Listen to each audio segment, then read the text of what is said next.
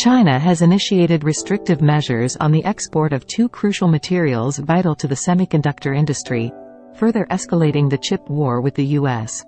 Export controls on gallium and germanium. Under the new regulations, exporters must obtain special licenses to ship gallium and germanium from the world's second-largest economy. These materials play a significant role in chip production and also have military applications. Dominance in global supply chain. China enjoys a dominant position in the global supply chain of gallium and germanium, producing approximately 80% of the world's gallium and 60% of germanium, according to the Critical Raw Materials Alliance, CRMA. Resource nationalism concerns. The ongoing tit-for-tat between the US and China has raised concerns over resource nationalism, where governments hoard critical materials to exert influence over other countries.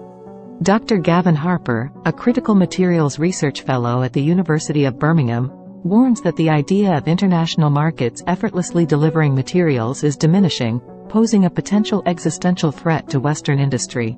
Applications of gallium and germanium. Gallium arsenide, a compound of gallium and arsenic, finds applications in high-frequency computer chips, LEDs, and solar panels. However, only a limited number of companies worldwide produce gallium arsenide at the required purity for electronics.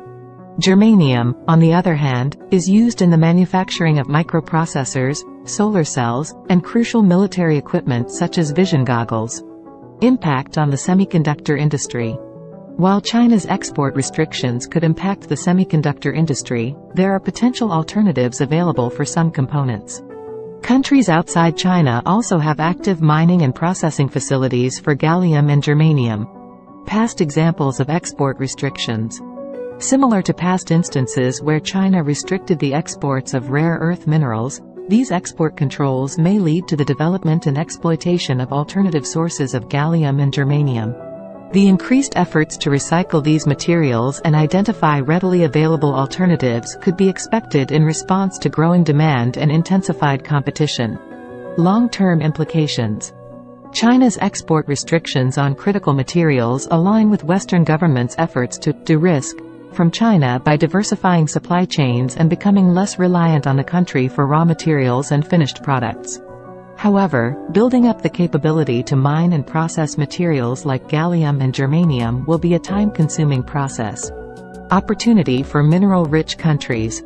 Mineral-rich countries like Australia and Canada view the current materials crisis as an opportunity to play a more significant role in the global supply chain. Global consequences on the environment. The weaponization of resources and technological capabilities by major economies, such as the US and China, could have significant environmental consequences.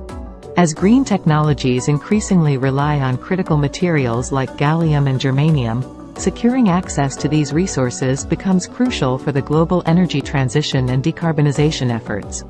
In conclusion, China's move to restrict the export of gallium and germanium has significant implications for the semiconductor industry and raises concerns over resource nationalism.